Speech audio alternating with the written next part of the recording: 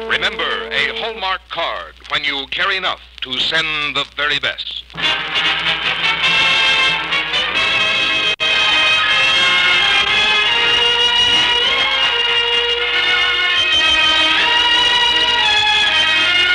Tonight from Hollywood, the makers of Hallmark cards bring you an unusual true story on the Hallmark Hall of Fame.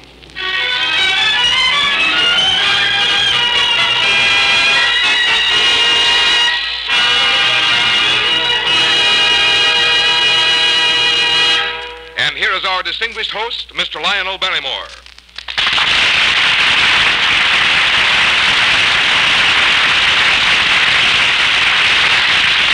Good evening, ladies and gentlemen. Shakespeare said it best. The quality of mercy is not strained. It droppeth as the gentle rain from heaven upon the place beneath. It is twice blessed. It blesseth him that gives and him that taketh. It is an attribute to God himself, the quality of mercy on the courthouse lawn in the city of Galesburg, Illinois, there is a statue, a woman kneeling beside a wounded soldier tendering aid. It was set there to honor the memory of one of America's first and greatest nurses, a woman whose qualities of mercy and courage were as durable as the stone of the statue itself. Her name was Mary Ann Bickerdyke, and this is her true story. And now here is Frank Goss from the makers of Hallmark cards. Whenever you want to remember a special person on a special day, let Hallmark cards speak for you.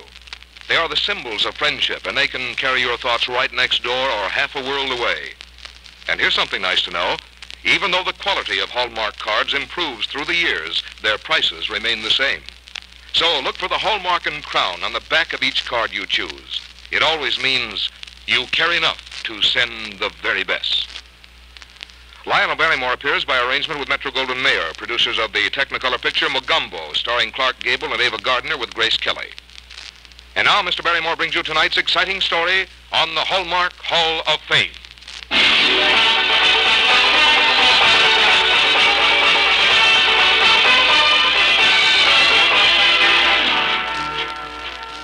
Summer 1861. The Civil War has just begun. The armies of the North and of the South march toward each other. There is a carnival air about them, as though a holiday and not a war had been declared. No one believes it'll last longer than a month or two.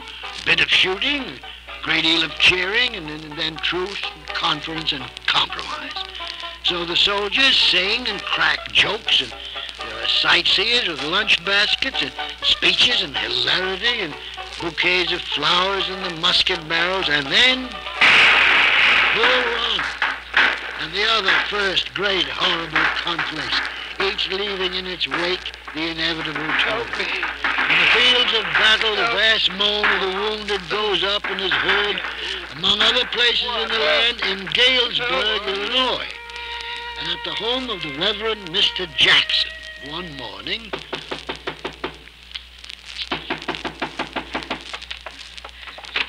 He's the Reverend here. Oh, Mary, I, I thought it was the... Come in, come in. The Reverend. Is he here? We're waiting for him at the depot, the whole Ladies' Aid Society, but he has. Oh, excuse me, I ran all the way. Is he here? Yes, he's here, but the train leaves in a few minutes. He'll miss the train. Is that the doctor, Ethel? Doctor. It's Mrs. Bickerdyke. have her come in. Have her come in. He tripped on the steps just as he was leaving. He's broken his leg. Oh, Reverend. Didn't you get my note? I sent a boy to the depot. Uh, sit down, Mary. Sit down. I'm so sorry. Are you in great pain? Well, I would be if I weren't so angry with myself. Of all times for such a thing to happen. Well, well, the Lord moves in mysterious ways.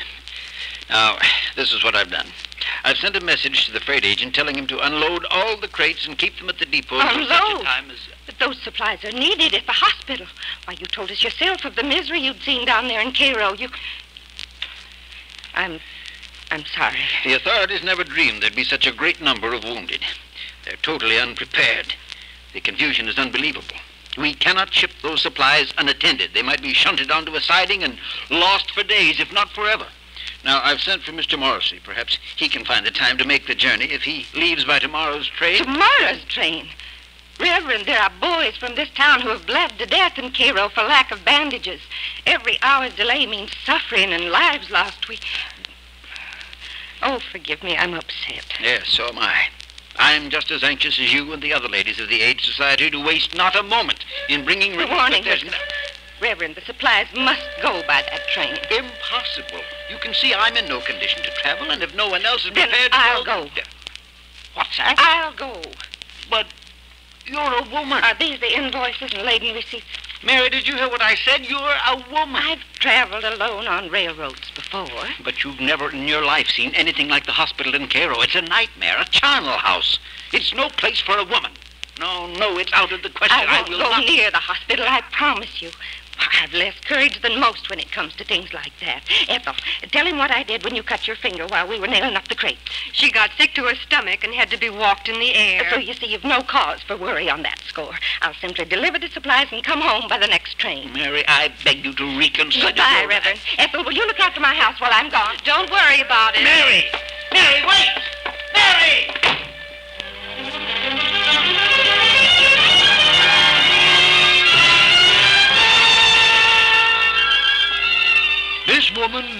Ann Bickerdyke, traveling south to the Army Hospital in Cairo, Illinois, is 43 years old and the mother of two grown sons. A quiet woman, almost shy. She's never done anything out of the ordinary, nor considered herself to be other than average. It's night when she arrives in Cairo, raining. She steps down from the train into a hurly-burly of darkness and hurrying, overworked men. How many more in that car? There's three, sir, but I think one of them's dead. We've run out of stretchers. Unused blankets. Carry 'em out in blankets. I'm begging the lieutenant's pardon, but where am I supposed to get blankets? I can't weave them, you know. Excuse me. Then sir. just carry 'em out. Excuse me, but I'm Who the here. devil are you? What's the woman doing here? I, I represent the Ladies' Aid Society of, of Galesburg, Illinois. What? And I, Madam, I don't know how you got here, but I do know you don't belong here. These yards are off limits to civilians. We're unloading wounded. yes, it's precisely because of the wounded that I've come. There's a freight car on this train with crates of blankets and food and bandages. Uh, and let, let me see your pass. Corporal, bring a lantern. no, I have no pass. I Madam, I'm, I must ask you to leave at once. I intend to leave just as soon as those crates are delivered into the proper hands. You see, we of the Galesburg Ladies' Aid. Please, madam, I haven't slept a wink in two days. Now, we've unloaded 200 cars of wounded since nightfall. We haven't even begun. I haven't time nor energy to waste on you. I'm, I must ask you to leave. Leave. Won't you just assign some of your men to unload the crates?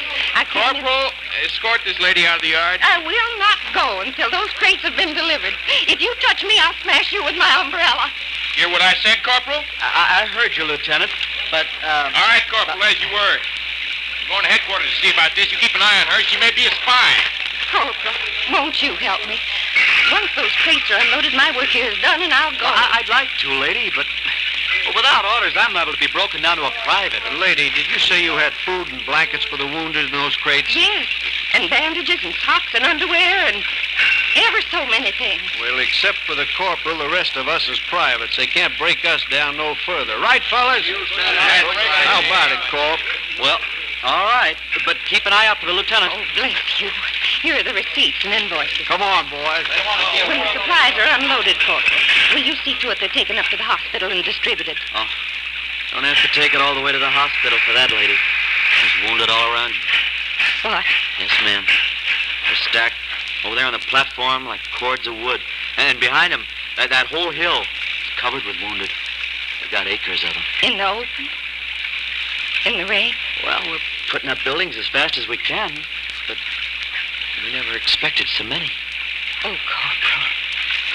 Lend me your lantern. Where are you going, lady? I'll be over there on the platform. There must be something I can do. Lady, please, Have you your must... men open the crates as quickly as possible. And fetch what's in them to me. Lady, no. I, I got orders you to stay here. Lady! Then I'll help you. Is there anything at all I can do to help you? Ma? Is that you, Ma? I was just thinking about you. I was wishing you would. Oh. Who are you? I want to help you. Tell me how. Look, I, I'm awful cold. There'll be warm blankets in a moment. In the meantime, we can use my coat. There. Is that better? Thank you, ma'am. Do you have any bandages? The chap next to me, I, I, I think he's bleeding to death. Johnny, Johnny, wake up. There's somebody here to bind up the wound. Ma'am, don't touch me. I'm powerful dirty. Oh, I'm sure I don't mind that. Now, I'm going to open your tunic. You tell me if it hurts. Ugly, ain't it? I don't think we can wait for the bandages. Now, if you shut your eyes for a moment and you turn your head. Oh, not your petticoat, ma'am. I said shut your eyes. Yes, ma'am. It's funny. I, I shot Yank here, and he got me with his bayonet, and here's both of us side by side. And there's you. Be sure to tell me now if it hurts. We got the crates, ma'am, and they're open. Cover as many as possible with the blankets first. Then feed all those who are hungry and may eat. And then come back There to she is, Colonel. This is the woman. Your servant, ma'am. I'm Colonel Everly of the Surgeon General's Department. And I'm Mrs. Bickerdyke of the Ladies' Aid Society of Galesburg. I'm not doing any harm here, Colonel. I'm trying to help. Yes, ma'am, I know, and I know the work of the Ladies' Aid, but I have orders that say no civilian is permitted to enter or remain in this yard. I intend to obey them. And I have orders that say, Do unto others as ye would have them do unto you. And I intend to obey them. Quite so. Quite so. How long will it take to unload the supplies the lieutenant tells me you brought? They're already unloaded. Ah, well, then- But there seems to be more to be done here than I thought. I... Oh, I beg you, sir, since there are so many wounded, may I not stay a while and help? Very well, madam. And I thank you. I'll make out the proper papers for you. Thank you. And could I trouble you to send a telegram to the Reverend Mr. Jackson in Galesburg? Tell him to keep the supplies coming. And tell him I'm no longer only a woman. I'm a nurse. Corporal, hand me some of those blankets.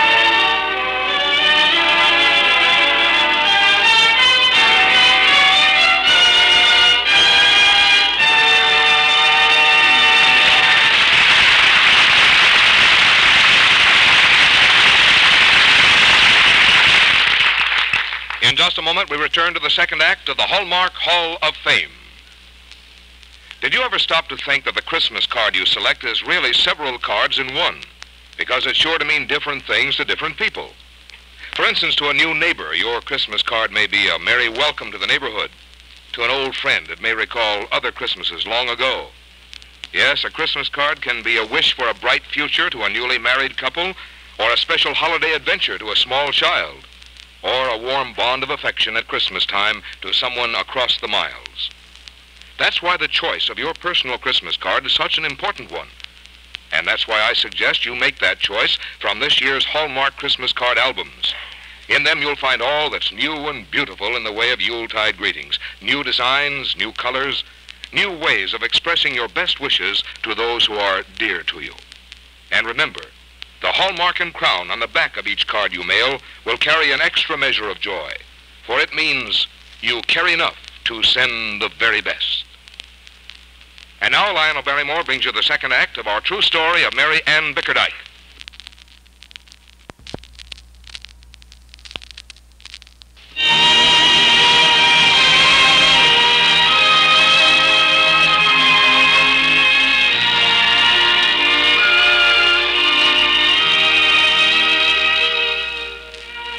Such devoted, selfless nurses as Mary Ann Bickerdyke showing the way, the United States Sanitary Commission, the forerunner of the Red Cross, enlisted the services of other women. The organization grew.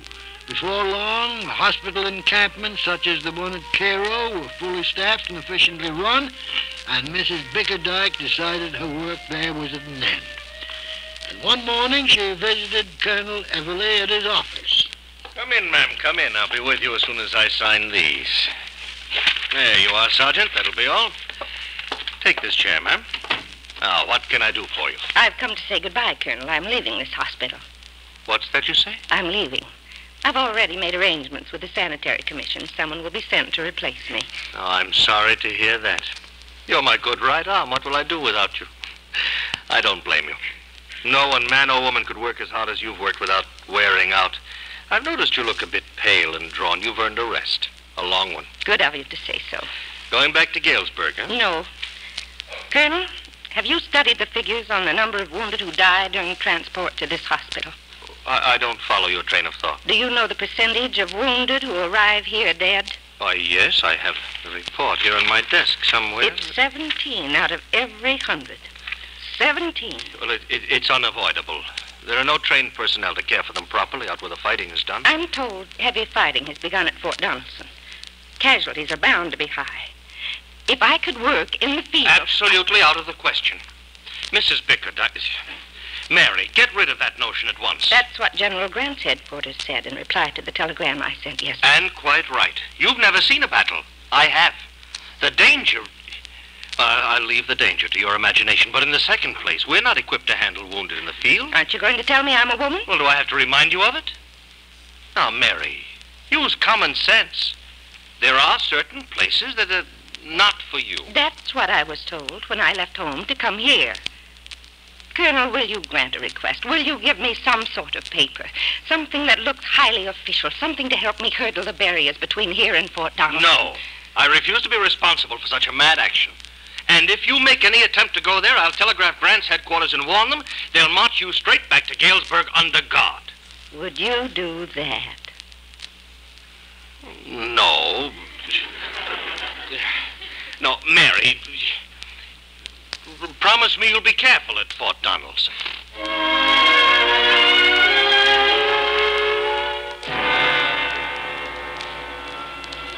Fort Donelson on the Cumberland. Midwinter. General Grant presses his attack with unparalleled vigor. General Buckner defends the fort with equal determination, and the snow between the lines is littered with the casualties. The night before the final attack, General John A. Logan of the Union forces makes the round of his section of the lines. Attention. As you were. How does it look, Sergeant? Pretty still until a minute ago, sir. Hmm. Then Abe here thought he saw something moving out there. Oh, where? Point it out. There, about halfway between the lines. We thought maybe they were trying to sneak up on us, but that's the only place Abe saw it, and there's not a sound. There's somebody looting.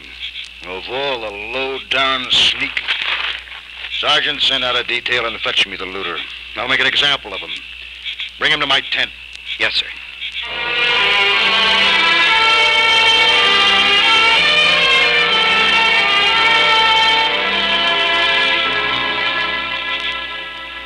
General Logan, sir? That you, Sergeant? Bring him in. Well, it, it ain't a him, sir. It's... What? Uh, madam, what the devil were you doing out there? What are you doing within 20 miles of here when it comes to that? Who are you? I'm with the Sanitary Commission. Here are my papers. I was only trying to make absolutely certain that none of the wounded had been overlooked. Mrs. Bickerdyke, is it? These are the only papers you have? They weren't issued by this command. You're here without official permission. Don't you know this is no place for a woman? I'm a nurse. My place is wherever there are wounded. And I'll thank you not to shake your finger in my face. It's been a long time since I've been afraid of generals. I've taken the temperature of too many of them. Uh, uh, yes, uh, that'll be all, Sergeant. You may go. Yes, sir. Let me see those papers again. Mary Ann Bickerdyke. huh? You're here to look after the wounded before they're shipped to hospitals? So they'll live to be shipped to hospitals. Uh, sound, a sound idea. Um, can you do anything about patching generals together so they can get some sleep the night before an attack? Oh, you've been wounded? No, it's my shoulder, it's just a graze. But it's keeping me awake. Well, I'll have a look at it. And I've a powder that will let you sleep. Take off your tunic and your shirt. Oh, now, wait, no. Oh, wait. come, come. I've tended thousands of men. General Logan, I know I've broken a rule, but I had to. My request for permission to work here was denied. Yes, I know.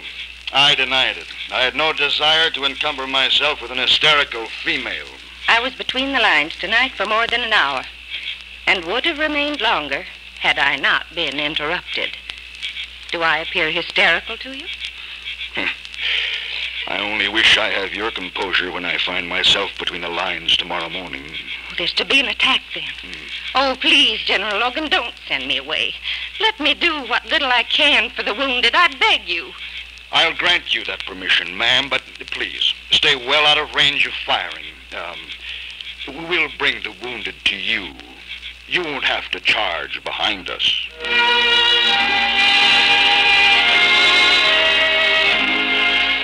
From that night on, General Logan was Mary Bickerdyke's best friend and most loyal adherent. He helped her stand up to Sherman and to Grant the many times she broke the rules to tend the sick and the wounded. For four solid years of war, she worked tirelessly, never sparing herself. On Palm Sunday, April the 9th, 1865, she was in Beaufort, North Carolina, when the word came that peace had been declared. Oh, Lieutenant, is it true? Is it over? Is it really over at last? Yes, ma'am. It's not just a rumor. It's finally over. Oh, thank heavens, thank heavens. It's it's really over. no, I can't wait to be demobilized.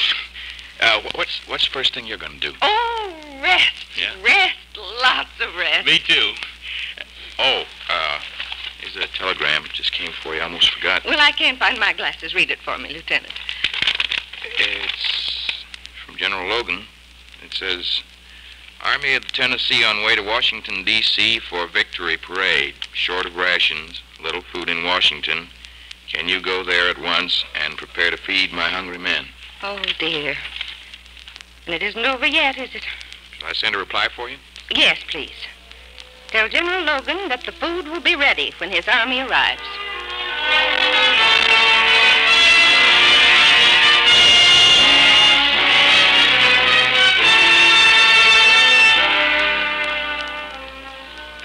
Food was ready. Mrs. Bickerdyke arrived in Washington eight hours before the Army of the Tennessee, and in those eight hours she performed a miracle. She persuaded wholesale food dealers to donate whole warehouses of their products and a railroad to furnish a train to, to, to fetch the supplies to Washington. And a few days later, as the Army of the Tennessee prepared to swing up Pennsylvania Avenue in the victory parade, Your men look splendid, General Logan. Thank you, Mary. And so do you. Oh, that's a fine horse you're riding. Uh, it's a gift from General Grant. Isn't he a beauty?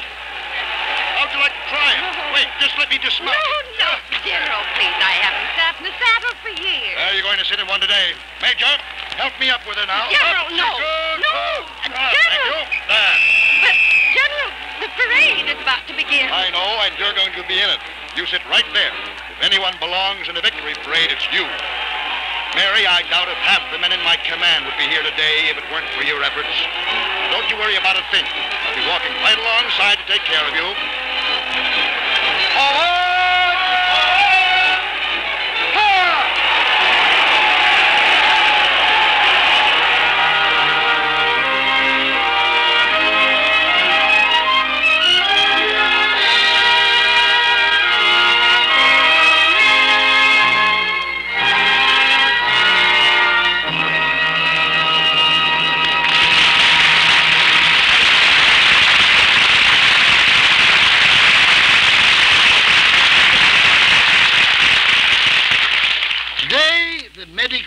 Branches of our armed forces are the finest in the world.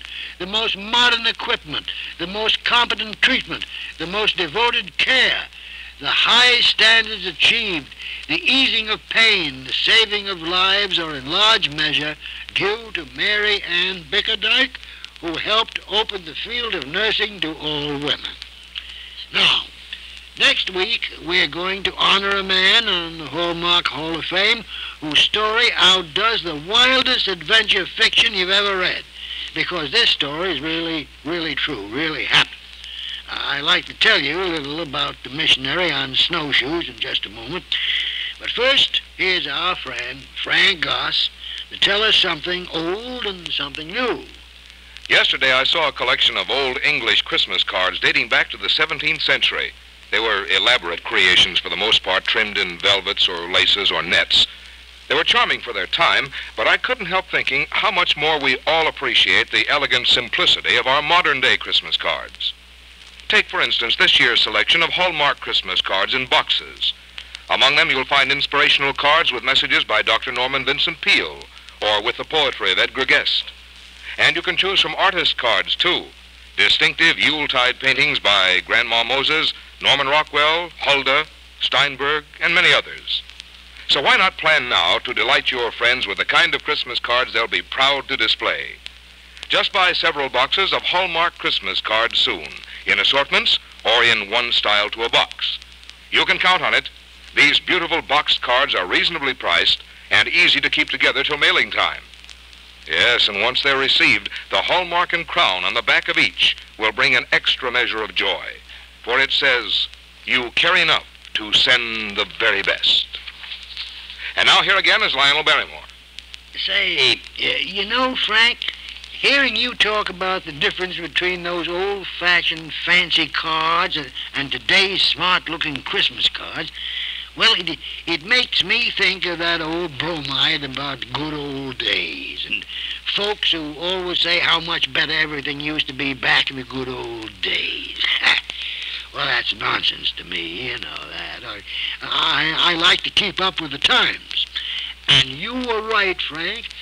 When I was a boy, we couldn't get Christmas cards by famous artists like Grandma Moses and Norman Rockwell and, and all the other famous folks who design Hallmark Christmas cards. Yes, and I, I like to see new Christmas art and new-looking cards. What are those uh, new, tall, thin ones, you know, that I like so much, Frank? You, you know the ones I mean. Oh, you mean the uh, Hallmark Slim Jim cards, Mr. Barrymore? Yes, that's it. Those are the ones.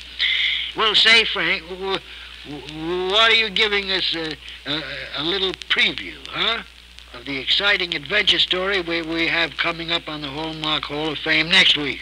Next week, we're going to honor Sheldon Jackson, and we're going to dramatize the story of his amazing and courageous feat, driving a herd of reindeer 1,000 miles across Alaska in the dead of winter to save the starving miners of Dawson after a torturous trip from Lapland by boat to New York, by train to Seattle, and boat again to the frozen Yukon.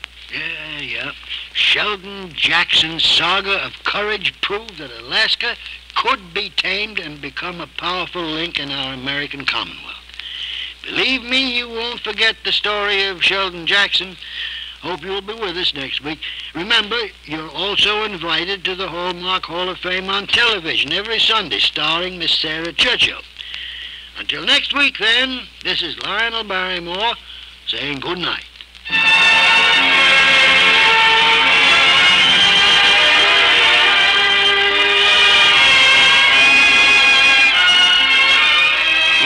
Hallmark cards that are sold only in stores that have been carefully selected to give you expert and friendly service.